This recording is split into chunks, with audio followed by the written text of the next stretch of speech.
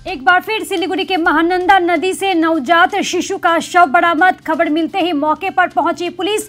शव को बरामद कर पोस्टमार्टम के लिए भेजा उत्तर बंगाल मेडिकल कॉलेज व अस्पताल। स्थानीय लोगों ने बताया कि नौका घाट के पोराझोर अंतर्गत महानंदा नदी में एक नवजात शिशु का बहता हुआ शव देखा।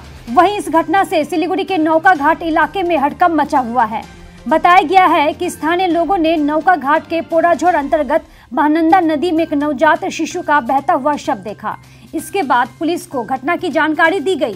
खबर मिलते ही पुलिस घटना स्थल पर पहुँची और शव को बरामद कर पोस्टमार्टम के लिए उत्तर बंगाल मेडिकल कॉलेज व अस्पताल भेजा।